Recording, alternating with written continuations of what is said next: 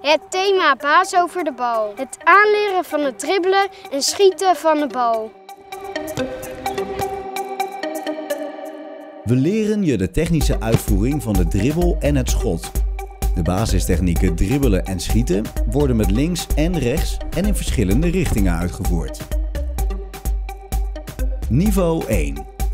Dribbel naar het middenschot met links of rechts.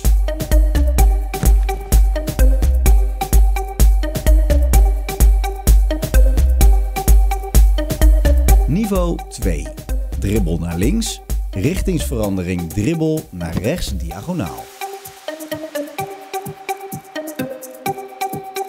Let tijdens het uitvoeren van deze oefeningen goed op. Teen naar beneden, lichaam voorover. Iedere pas de bal raken, dribbelbeen voor je standbeen. En zorg bij het schieten dat de laatste twee passen groot zijn. Punt standbeen naar doel en raken met je wreef. Voor meer video's ga naar voetbalomgeving.nl. Dit programma werd mede mogelijk gemaakt door Intersport. Sport to the people.